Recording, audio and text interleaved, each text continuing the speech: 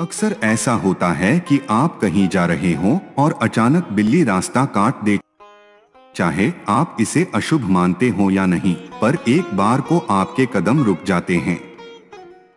जी हाँ दोस्तों, आज हम आपको बताने वाले हैं, बिल्ली का रास्ता काटना शुभ होता है या अशुभ, पर इस बारे में हम आपको बताएँ। उससे पहले हमारी आपसे प्रार्थना है कि हमारे चैनल को सब्सक्राइब करें और कमेंट में जय श्री कृष्णा ज़रूर लिखे। दोस्तों, यह आम धारणा है कि बिल्ली अगर रास्ता काट जाए तो अपशकुन होता है। इस धारणा के कारण बहुत से लोग बिल्ली के रास्ता काटने पर कुछ देर ठहर जाते हैं और इंतज़ार करते हैं कि कोई आए जो उनसे पहले रास्ता पार करे।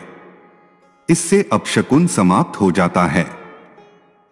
लेकिन सच यह है कि हर स्थिति में बिल्ली का रास्ता काटना अशुभ नहीं होता है।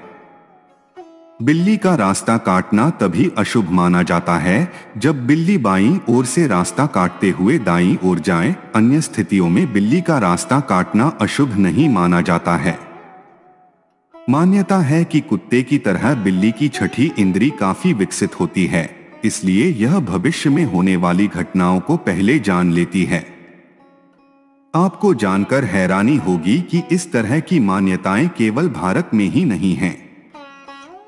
अमेरिका में आज भी बिल्ली को दुर्भाग्य का प्रतीक माना जाता है। जर्मनी में बिल्लियों का दाई से बाई ओर रास्ता काटना अशुभ माना जाता है। इसके अलावा यूरोप में कई हिस्सों में काली बिल्ली को अपशगुन माना जाता है। अगर आप किसी काम से बाहर जा रहे हैं और बिल्ली आपका रास्ता काट ले तो इसका सबसे आसान उपाय यह है कि आप अपने इष्ट देव या हनुमान जी को प्रणाम करें और उसके बाद आगे बढ़े।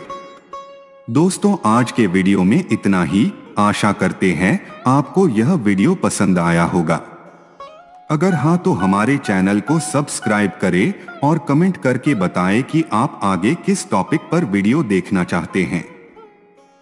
धन्यवाद।